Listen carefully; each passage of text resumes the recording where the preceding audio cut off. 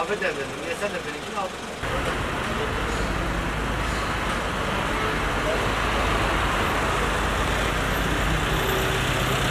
Araba gidiyor.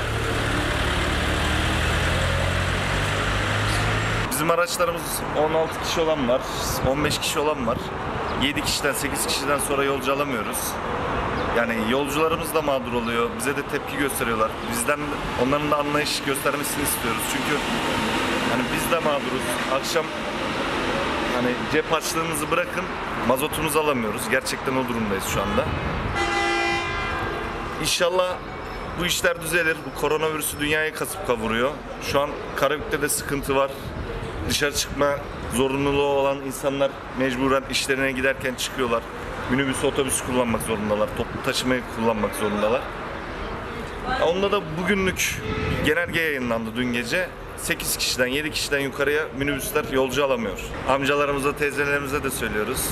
Söylüyoruz hani diyoruz sizde almamız yasak. Otobüsler de almıyor. Aynı şekilde minibüsler de almıyor. 65 yaş üzeri. Gerekli olmadığı sürece evde kalmalarını istiyoruz. Biz de aynı şekilde. Hani işimiz bittiği zaman direkt eve gidiyoruz. Bütün arkadaşlar da aynı şekilde konuşuyor zaten.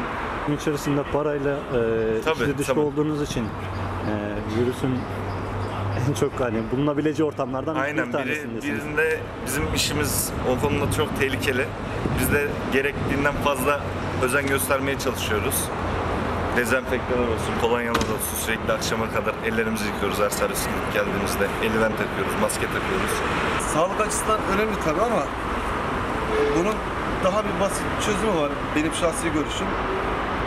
Bu şekilde 7 kişiyle araç gidip gelecek. Sonuçta hastalık, salgın hastalık devam ediyor. Yani bir kişiden de bulaşacak, 7 kişiden de bulaşacak.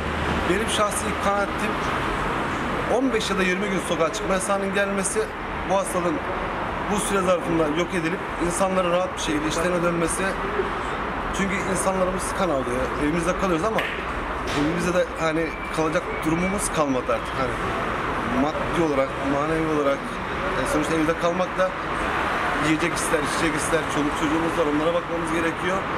En azından belli bir süre sokağa çıkma yasağının olup bu hastalıktan tamamıyla kurtulup herkesin işine gücüne dönmesini canı gönülden istiyorum.